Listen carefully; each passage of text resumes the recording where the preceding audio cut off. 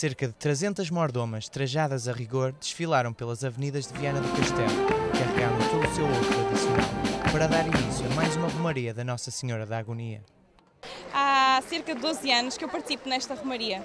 E o que é que significa para si esta romaria? Eu, como vianense, significa tudo, porque digamos que este é o ponto mais alto das festas, em que as raparigas uh, serviam quase como mordomas, como as, as principais cabeças cartazes todas as, festas, todas as festas. Eu, como sou natural de, de Viana, não cidade, mas aldeia, uh, para isto, para mim, significa tudo. São as minhas raízes. E, e o ouro? Qual é o significado do ouro? O ouro, digamos que era uh, uh, aquilo que dava alguma uh, alegria, alguma vista à rapariga. claro que todas as peças têm um significado. Cada elemento do traje apresenta um grande valor histórico e simbólico, como aquele que é transmitido pela história da vela e do palmito. Quando a moça entrava com a vela acesa na igreja e se a vela se apagasse, queria dizer que a moça já não era virgem naquele tempo e os rapazes já não a queriam.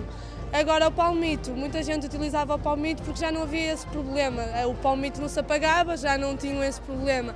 E havia muitas vezes também muitos, prontos, muitos moços que queriam aquela moça que pegavam e iam às portas travessas da igreja que tinham, abriam a porta travessa para fazer uma pequena corrente de ar para apagar a vela, que era para aquele moço que estivesse interessado naquela moça não ficasse com ela.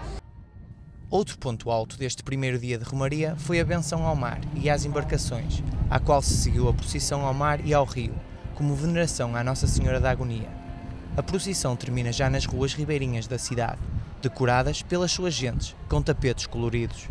Nossa Senhora traz muita fé para os pescadores. E sente-se protegida? Sim. Todos os dias lhe rezo.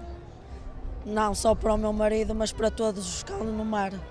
Para a autarquia, esta romaria é considerada o ex-libris da cidade. E um sentimento de orgulho, de pertença, de, de ser vienense e há também, eh, associado a todo este trabalho que é feito pelas comissões de festas, também um elogio à mulher vienesa e há também, eu diria, um hino à cultura popular.